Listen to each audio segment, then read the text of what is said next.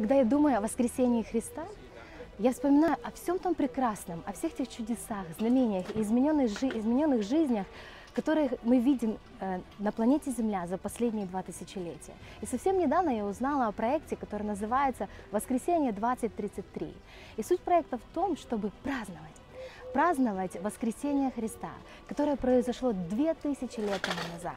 И поэтому я бы хотела пригласить всех нас, чтобы мы объединились в том, чтобы праздновать, праздновать воскресение нашего Господа, потому что Он достоин. Давайте все вместе сделаем этот праздник и сообщим еще тем людям, которые не знают или, возможно, еще не уверены в том, что Христос на самом деле воскрес. Христос воскрес, воистину воскрес.